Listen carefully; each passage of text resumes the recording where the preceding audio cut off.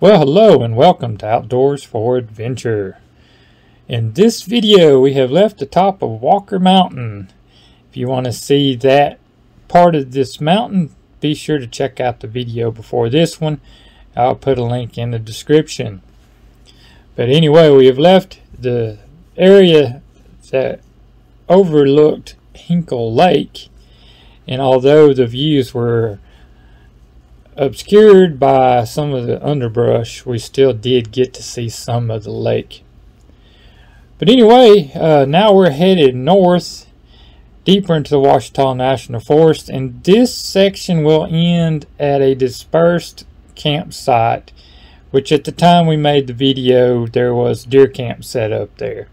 So we just pulled in enough that we could turn around and backtrack to a fork in the road and at that fork we're going to end up turning right and going south deeper into the national forest. There's a lot of good views on this section. And we have some steep drop-offs on the northern side. Beautiful views uh, a lot of pretty trees and we did cross a few dispersed campsites on the way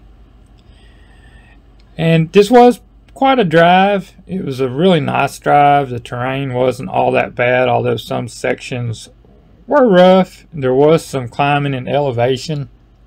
And uh, we really enjoyed uh, this trip through this part of the National Forest. We have never been in this section of the National Forest.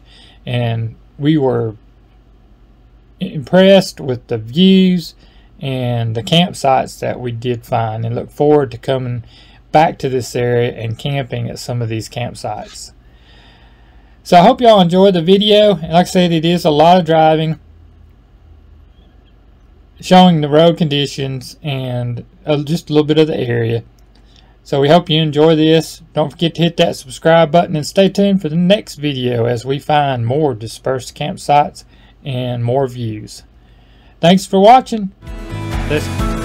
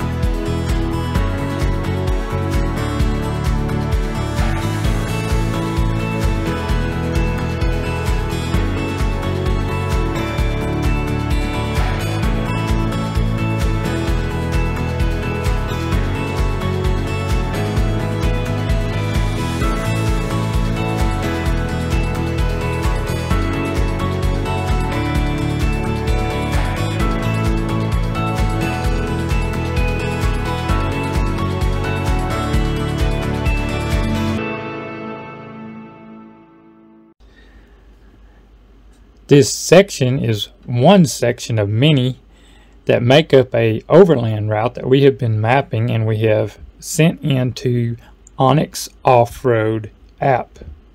This route is live on the app. This route goes through four different areas of the Ouachita National Forest.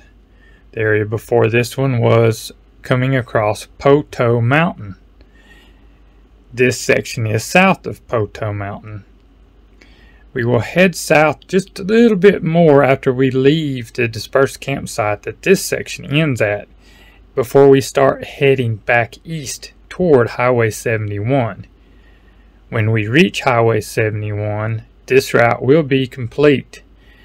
If you cross east over 71 from where this route or these sections end, you will see another section of trails that are on the app.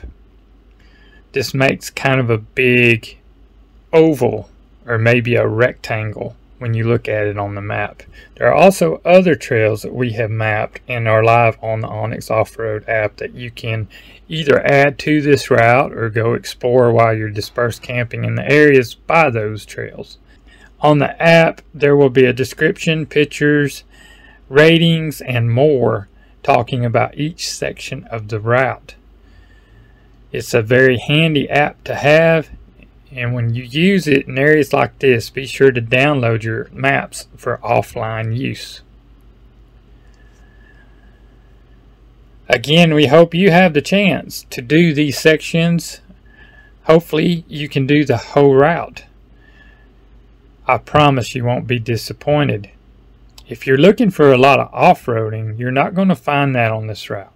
There are some sections that could be a little bit difficult and you I would want a little bit of ground clearance and all-wheel drive, but most of this route could be done in two-wheel drive. So I hope you enjoy what we've shared with you and you can get out there and explore it yourself. Thanks for following along. Have a good day.